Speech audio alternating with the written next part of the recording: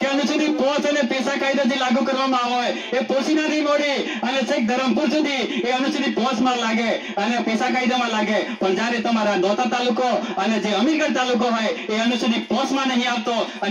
આગેવાન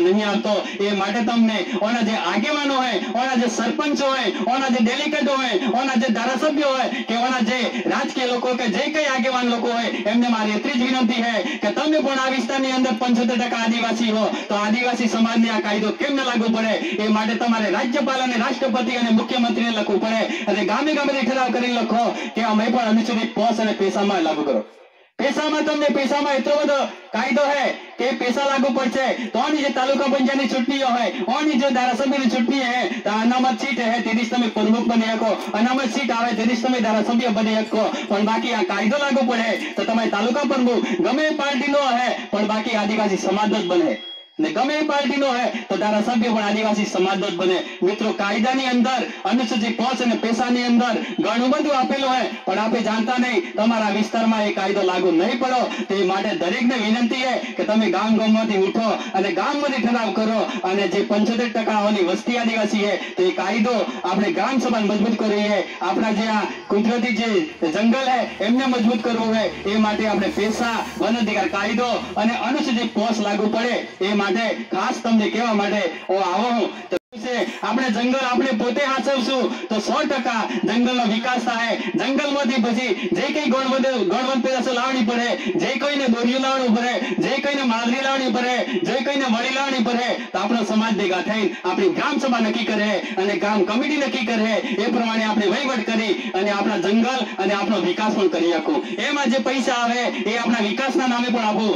કરી શકું મિત્રો, એ માટે ખાસ તમને કેવા આવો આપણે કાયદાઓ તો ઘણા બધા બનાવે પણ એ કાયદાનું અમલવારી નહીં થવું. આપણા સમાજે એ ફોર્મ નહીં ભરવું. એ ફોર્મ ભરે અને બધા જાગૃત થઈ અને એ ફોર્મ ભરીએ તો આપણા સૌ પ્રકારના જે અધિકારો હોય એ સો સો પ્રકારના અધિકારો આપણને મળે.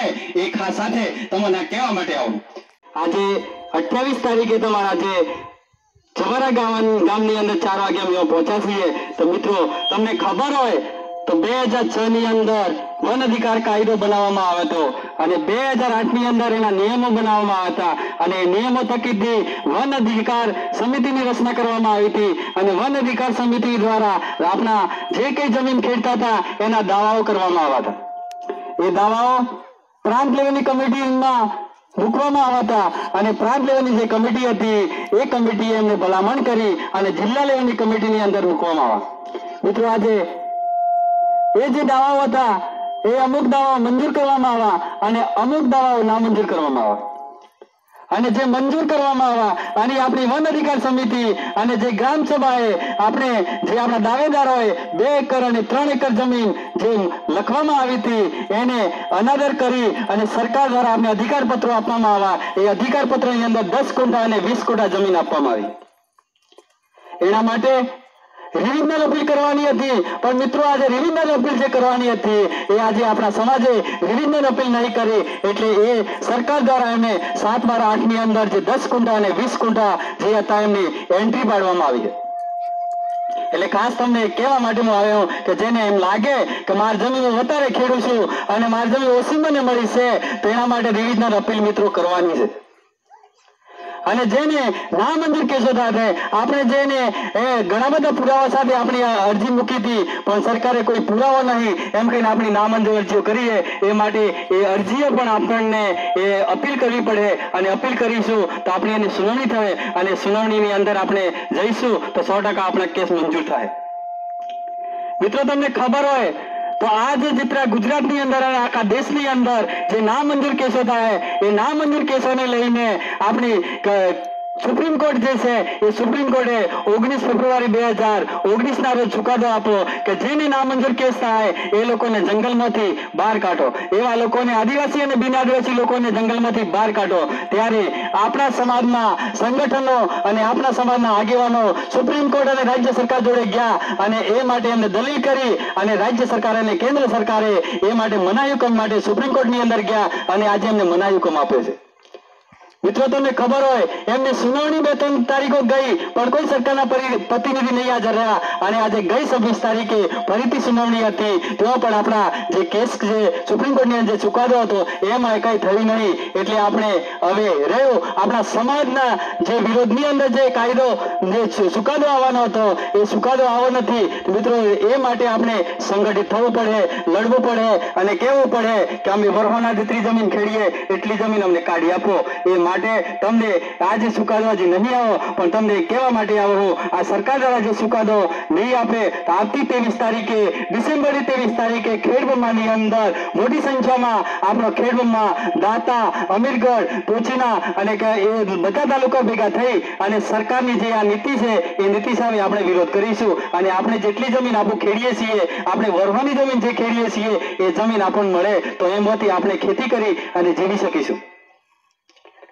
બીજું જે બીજું તો આપણને જે કહેવામાં આવ્યું હતું કે જે વન અધિકાર કાયદા પ્રમાણે આપણે સામૂહિક દાવો લેવા માટેની હતી. આપણે જે ગણવન પેદાશો લેવાની વાત હતી, આપણે જે ડો- ટોળા કે જે બાખરો સારવાની વાત હતી, એ સરાયણની વાત હતી, જે જંગલને ઉછેરવાની વાત હતી, જે જંગલમાં જે તળાવ છે કે જે વોગ જાય છે, એમાંથી આપણે પાણી લઈને સિંચાઈની વાત હતી, એને માસલો મારીને આપણે ખાઈએ કે એની વાત હતી. પણ એવા અધિકારો આપણે આપ્યા નહીં. અને અધિકારો આપ્યા કેવા અપાય કે કેવા ઓગણવાડી બનાવવાની, કે શાળા બનાવવાની અને કઈ જગ્યાએ સસ્તાની દુકાન બનાવી એ માટે જમીન આપી છે. મિત્રો, પણ આપણા જે હક્કો હતા, આપણી બેન બેટીઓ જે જંગલમાંથી લાકડું લાવી આપણે શું હળગાવી શકતા, એ અધિકાર હતો. એ પણ આપણો અધિકાર આપવામાં આવો નહીં. એ માટે ખાસ તમને કહેવા માટે આવું આપણો જે સામુદાયિક અધિકાર છે, સામુદાયિક અધિકાર એ આપણા જે વર્ષોથી આપણે આ જંગલને હાંસવાની વાત છે, એમાંથી ગૌણવન પેદાશો લેવાની વાત છે, એ આપણે લઈશું. તો આપણે જંગલ પણ હાંસી શકું. આપણું પર્યાવરણ પણ હાંસવાય તો આ જંગલોમાં ઘોડાબાળી અવગાય ને ઉગે. પણ હારું હારું કંઈક વાવું, તે જંગલમાંથી લાવીને આપણું વેચીને પણ જીવી શકું એટલે આપણી જે આ કુદરતી જે સંપત્તિ છે, કે જે ડુંગર હોય, એમાં હારા એવા વૃક્ષો વાવીએ, એવા સીતાફળો વાવીએ, એવા શાકના લાકડા વાવીએ, એમાંથી કઈ આપણી ગ્રામ સભા, આપણી કમિટી નક્કી કરે એ પ્રમાણે આપણને મળે. સો ટકાની આવક આવે. મિત્રો, એ માટે આજે સિત્તેર વર્ષ થઈ ગયા હોય પણ સરકાર દ્વારા જે કઈ આપણા જે જે જંગલ હતા, એમાં વાવા હતા ઘોડા બાવળિયા હોય પણ બાકી કઈ નહીં, આપણું લાકડો લેવા જઈએ તો એ કોટા પૂરે તો આપણી બેન બેટીઓને હોજો આવી જાય. મિત્રો, એ માટે આપણે જંગલને હાંસવા માટેની વાત છે. જંગલને ઉછેરવાની વાત છે.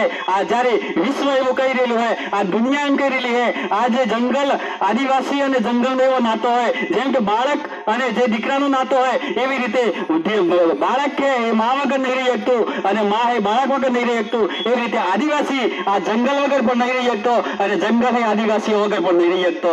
એટલે એકબીજાની જે નાતો હોય, આપણા વડીલો હતા મગરા ઉપર એમ કરું મોડીને પણ પૂજા કરતા. આપણા ડુંગરની પૂજા કરતા. પૂજા કરતા. એ પણ આપણો એવો કાયદો બને. તે જંગલમાં જઈને આપણા વડીલોએ જે આપણી જે માતા મળેલી છે કે આપણો જે દેવ મળેલો હોય એમની પણ આપણે પૂજા ને કરીએ કે